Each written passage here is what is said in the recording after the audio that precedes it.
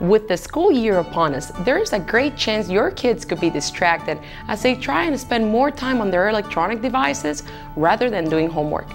I'm Candia Chastain with Sports Moms, here with some tips to keep your kids on track, not online. We all know the routine. We get busy with work or getting things done around the house. Our kids ask to play on their tablets or iPads, and we give in. But this year is going to be different.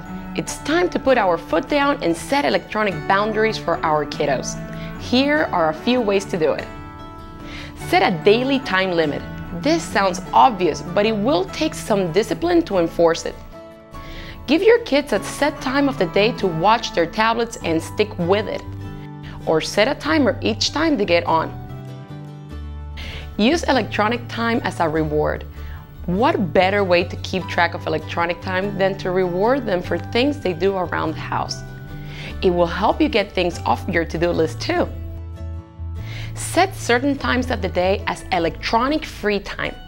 Make sure electronics do not interfere with important times of the day like dinner time or bedtime. This can help keep track of the amount of time they are online too. Take away electronics when friends are over. It's really easy for kids to want to get on their tablets when friends come over for a visit. But this time needs to be sacred time and should be spent as one-on-one time between friends.